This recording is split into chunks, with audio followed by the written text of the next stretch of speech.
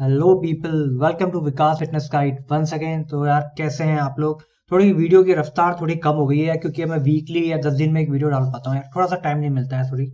तो sorry guys I mean to say so मैं कोशिश करूँगा कि आपके लिए अच्छे अच्छे वीडियो बनाता रहूँ। अगर मुझे कोई टॉपिक्स पसंद आते हैं, अगर आप आप लोग मुझे कोई टॉपिक भेजते हैं, अगर वो मुझे पसंद आता है तो मैं ज़रूर उस पर वीडियो बनाता हूँ। बट यार देखो रिपीटेटिव टॉपिक्स में वीडियो बनाना मुझे पसंद नहीं है, ठीक है? यूट्यूब भी से अलाउ नहीं करता कि रिपीटेटिव वीडियोस आप बनाओ करो, उसका कोई सेंस भी नहीं बनता है, ठीक है? तो make some new ideas give me some new ideas to make videos तो उन पर हम ज़रूर वीडियो बनाएँगे, ठीक है? आज का मैं वीडियो एक तो किसी ने मुझसे क्वेश्चन किया था कि, सर, मैंने एनएसएम सर्टिफिकेशन किया था क्या एनएसएम सर्टिफिकेशन के थ्रू मेरी दुबई में जॉब लग जाएगी? तो मैं उसी का आंसर बता देता हूँ आपको। अगर आपने National Academy of Sports Medicine से सर्टिफिकेशन किया हुआ है, सबसे पहले तो यार एनएसएम बहुत अच्छे सर्टिफिकेशन देता है तो इनका फ़र्स्ट जो सर्टिफिकेशन है वो है N S M certified personal trainer और दूसरा जो सर्टिफिकेशन है N S M performance exercise specialist है इनका इनहेंसर स्पेशलिस्ट ए वी है आई थिंक इस तरीके का कुछ नाम है इसका। तो उनके बहुत डिफरेंट डिफरेंट कुछ सर्टिफिकेशन है एन एस एम के, वाकई बहुत अच्छी अकेडमी है। ए सी एस एम की अगर बात कोई स्पोर्ट्स मेडिसिन के अंदर कोई फिटनेस सर्टिफिकेशन है तो वो है national academy of sports medicine और A C S M sports certification I mean sports medicine certification तो ये दोनों अकेडमी बहुत अच्छी है। तो फ़र्स्ट नंबर पे एसीएसएम आती है सेकंड पे आपकी एनएसएम आती है। दोनों यूएस बेस्ड सर्टिफिकेशन है। प्रॉब्लम दोनों की यही है, इन लोगों को आरपीएस वारीपीएस से कोई मतलब नहीं ये लोग सिर्फ़ आपको नॉलेज प्रोवाइड कराते हैं और ये सब यूएस बेस्ड सर्टिफिकेशन है और ये ऑनलाइन फिटनेस सर्टिफिकेशन है।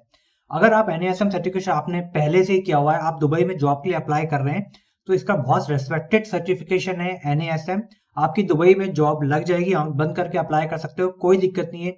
बस सिर्फ़ एक ही प्रॉब्लम आती है कि वो आरईपीएस नहीं है तो आपका सर्टिफिकेशन जो है सिक्स मंथ प्रोबेशन के ऊपर आप दुबई में काम कर सकते हो। तो जैसे सिक्स मंथ का प्रोबेशन आपका कंप्लीट हो जाएगा, उसके बाद आपको अपने फिटनेस सर्टिफिकेशन जो है डॉक्यूमेंट जो है, आपको आर यूई में सबमिट कराने पड़े कराने पड़ेंगे।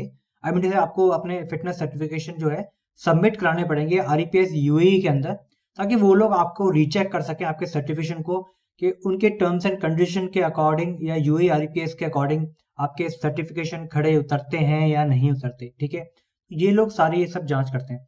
तो बस ये बेसिक चीज़ यही सबसे बड़ी प्रॉब्लम रहती है बट ये हंड्रेड परसेंट मैं श्योर दे देता हूँ यार, अगर आपने एनएसएम किया हुआ है एसीएसएम किया हुआ है, कोई भी fitness certification online US base किया हुआ है तो आपको जॉब ज़रूर मिलेगी, ऐसा कुछ भी नहीं आपको जॉब नहीं मिलती है, ठीक है? आपको जॉब मिल जाएगी, वहाँ पे आप जा सकते हैं, अगर आप इंटरव्यू क्रैक कर लेते हैं, उसके बाद आपको यार वहाँ पे कुछ रास्ते अपनाने पड़ेंगे या लेवल टू का सर्टिफिकेशन भी कर सकते हो या कोई चीफ सर्टिफिकेशन देखना पड़ेगा या कुछ ना कुछ आपको जुगाड़ करना पड़ेगा, आपको एक दूसरा सर्टिफिकेशन करने की ज़रूरत पड़ती है।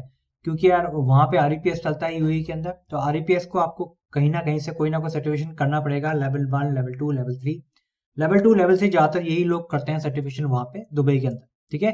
तो जॉब आपकी लग जाएगी जॉब में आपको कोई प्रॉब्लम नहीं वाली, होने वाली आई mean to say so I hope ये वीडियो आपको पसंद आया होगा।